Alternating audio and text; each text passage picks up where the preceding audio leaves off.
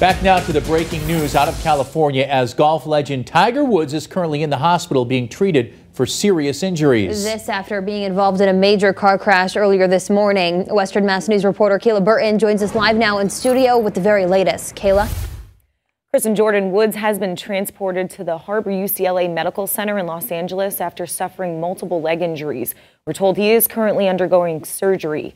This after Tiger Woods was involved in a serious single car accident. You can see there a little after 7 o'clock this morning. According to the Los Angeles County Sheriff's Department, they had to use jaws of life to free Woods from the car. As you can see, the vehicle is severely damaged, and as of now, we do not know the cause of this crash. Woods was the only person in that car.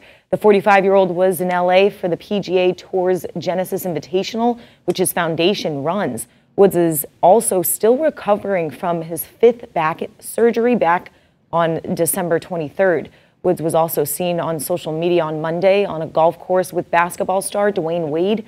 Now, unfortunately, Woods has been in this scary situation before, back in May of 2009 when he lost control of his SUV outside of his Florida mansion.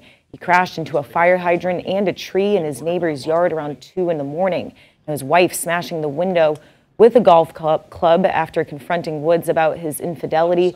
It was the start of a career downfall for Woods, who has just won a major who just won major rather in 11 years since the incident. Now then in 2017, Woods again involved in a car crash where he was charged for driving under the influence in Florida after police discovered him asleep in a damaged car. Western Mass News will provide you with the latest information once we learn more, so stick with us both on air and online for the latest details. Live in studio, Kayla Burton, Western Mass News.